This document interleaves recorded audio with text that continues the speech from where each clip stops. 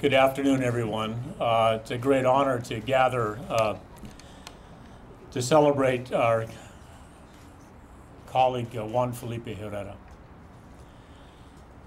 You know, on behalf of all of us, Juan, and when I say that, I always have to sort of pause and remember what that means. All of us means um, all of the faculty at the University of California, Riverside. It means all of our students, all of our staff, it means all of our alumni. It means our regents and the office of the president. And quite frankly, it means the other colleagues, the professorial colleagues uh, on the other nine campuses.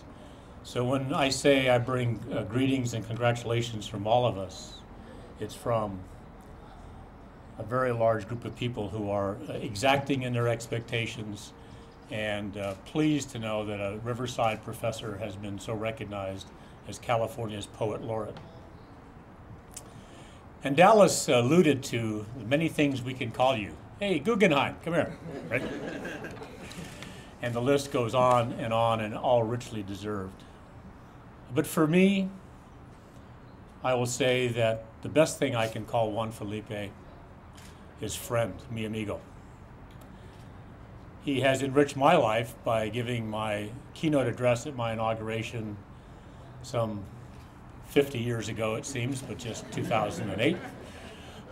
Uh, he has enriched my household and my child Logan's life by sharing with him some books that he has written along the way that are among our most favorite that we read just about every day.